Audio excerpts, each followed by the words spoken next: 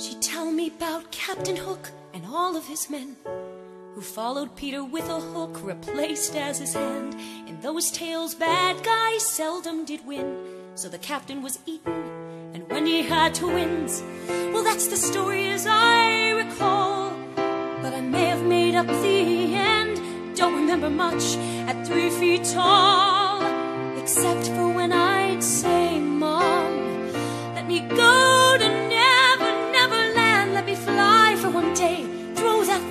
dust in my hair so I can pretend I'm flying away. I'm flying away. Well, to my surprise, I grew up too fast, and that easy life of Tinkerbell never did last. So I silently dreamed myself far, far away, that I could be immortalized like Peter one day.